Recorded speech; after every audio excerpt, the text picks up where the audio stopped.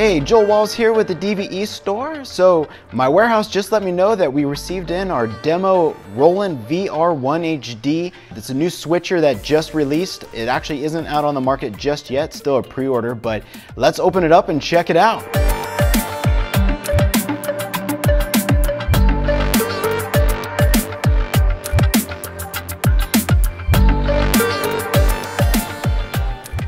All right, there it is, sitting by its lonesome just waiting to be picked. Let's open this guy up and see what this is all about. See what we got here.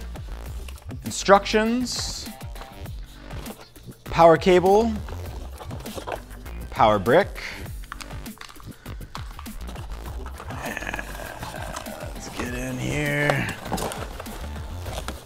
And here it is. Ready for it? Oh! so this is our switcher. Pretty sleek design. You're gonna have the three inputs right here, quick on the fly to be able to switch between. On the back, you're gonna have one, two, and three. There's scalers through each of the HDMI inputs. So then you can have different uh, resolutions coming in and it'll match it up for you. Especially for gamers, having your gameplay coming in on the third HDMI input, there's no latency on the through. You're gonna also have the uh, USB out, so then you can plug it into a Mac or PC. Your computer will be able to see it as a web camera and then you can stream live from there. We're also gonna have audio. So we have XLR, we got a mic in here. We have a mic in up on top line levels, that's gonna be your third for uh, your fader here.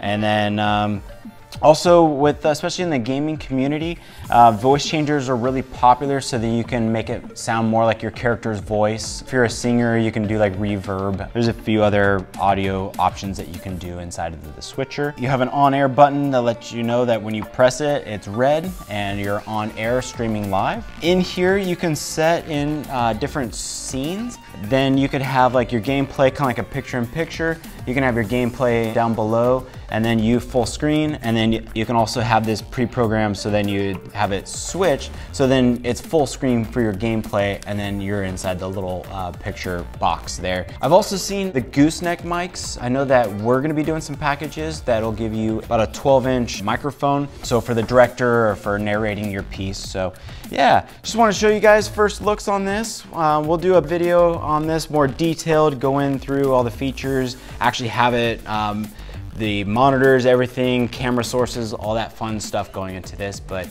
yeah, if you guys have any questions or anything, feel free to email me at joelw at dvestore.com. All right, thank you guys. We'll see you on the next episode.